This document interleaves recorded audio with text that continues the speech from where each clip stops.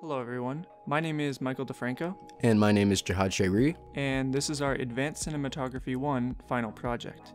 In this assignment, we are tasked with recreating this shot from John Krasinski's A Quiet Place, which was DP'd by Charlotte Bruus Christensen and shot on Arriflex 35mm cameras using Panavision anamorphic lenses. Here is how we did it. The first step in our journey was determining where light was coming from in this scene. By analyzing the directionality and quality of the highlights and shadows, we came up with this lighting plan. Next up, we captured test footage that we could then use to build our LUT. For this test, and for the final shoot, we used the Sony FS5 Mark II with the Rokinon Cine Prime lenses and recorded RAW into the Convergent Design Odyssey recorder. We constructed a rough replication of our scene and focused more on achieving the correct composition, lighting positions, and light quality. Bringing the test footage into Resolve, we saw that we had captured most of the look in camera, but some tweaks were certainly needed.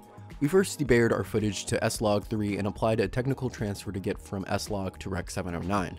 Once here, we brought the exposure down and adjusted contrast. This got us close, so to finish off, we just made a minor correction to the cyan light coming from the back window, saturated the warmer tones, and brought the uppermost whites up a bit. With our test complete, we prepped for the final shoot by ordering all the props and art that we knew we were going to need.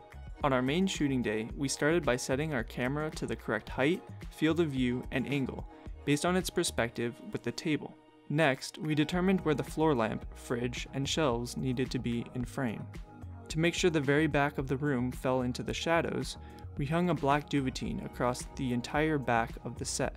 With the general set built, it was time to light. For lighting, we started by recreating our setup for the test shoot. First was our main light for the table, an S60 hung from a batten just behind and to the right of the female character. This provided light to her face, for the table, and everyone's hands. Next was an L7C raised high up to the left of our frame. This gave the mother some fill and provided an edge light for the boy and the father.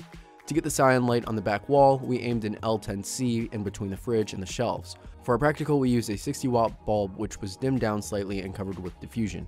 Before rolling, we made sure everyone was in the exact frame positions, which took some finagling, but we wrapped with two solid takes of the frame. Luckily, our LUT was fairly strong, so we only needed a handful of minor corrections in the final grade.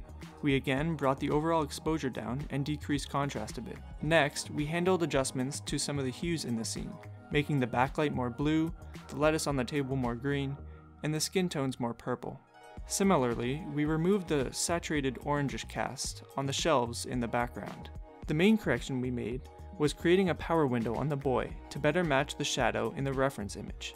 The last steps were removing this pesky flare that we couldn't get rid of on set, and adding the proper crop and a touch of film grain to match the Kodak Vision 3 film that was used for the actual movie. There is definitely room for improvement with our project. Mainly, we overcomplicated the lights and the placement of those lights in the scene. While the raised L7C gave us the edge light we wanted, it also gave off too much light, giving the boy highlights on the back of his shirt and head. These issues could have been corrected by simply using one S60 with a china ball placed top down directly above the table. Another issue we found was that the depth of field in our shot didn't quite match the reference, as it was in softer focus.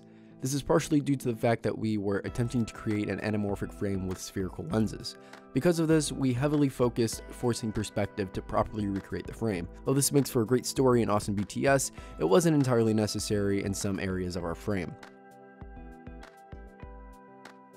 And that's pretty much it. So, this has been our AC1 final project, and we hope you enjoyed.